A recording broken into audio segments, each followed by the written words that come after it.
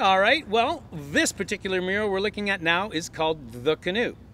It was painted by, well, the mural was painted by me, but the original piece was done by Tom Thomson in 1914. Now, when we looked at some of the other paintings, you could really see that uh, experimentation that Tom was doing. He was really stretching for colors and, and looking for unique ways to paint. This is still early in his discovery of his painting career. So we don't have that crazy color going on. We don't have uh, those brushstrokes that you can just see is meant to be a brushstroke.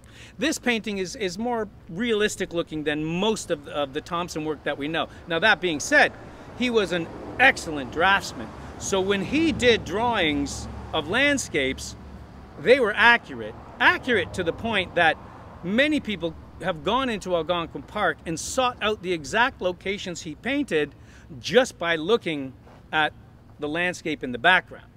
So this particular painting, The Canoe, again, it's early in his career, and you can see he's he's just starting to like the colors he's not exploring the colors but that brushstroke that that big bold movement of paint. And these are things that he would have talked about with A.Y. Jackson when they shared studio space together. A.Y. Jackson would have been telling him about the paintings he saw by van gogh and all the bold brushstrokes and colors and such. So you know here's tom Thomson and all his friends. They're talking about art. They're thinking about art. They're thinking about making new art.